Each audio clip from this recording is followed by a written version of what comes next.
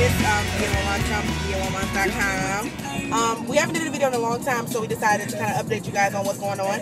But before we do that, let's say hi to our special guest in the car. Yeah. Hi, everybody. hello, hello, hello. Introduce yourselves. I am Kabira Osayami. I'm the big sister, and I love the old one. Okay. Hi And, everyone, my name's Lakia, middle sister. Yeah. She's so silly.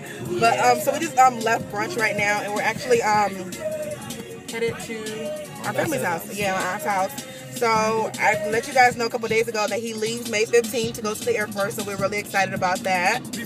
How do you feel about that? Feel good, man. Feel good. I mean, we thank God. Exactly, everything. exactly. So um, it's been a while since we did a video. So um, what else? I mean, I don't know. Y'all, y'all still have questions, Make sure. you'll send us questions. make sure you submit that. You Look, our twin. for us, a rabbit. But, um, so we're excited about that. Um, I'll be doing updates even when he's gone to basically kind of like update you guys as to what's going on. Come back in July, so we're excited about that, and then we'll find out where we'll be stationed. So yeah, guys, we're actually um, headed to the district later on. So excited about that. Um, Word up. any other updates? Oh, I, we actually had a, um, a request to do a finance video about our finance, how we budget our finance, and all that good stuff. So you'll guys see a video about that later. Um, a great plan that we have um, that I got from my sister. So it's amazing. So guys, I'm actually excited about that one.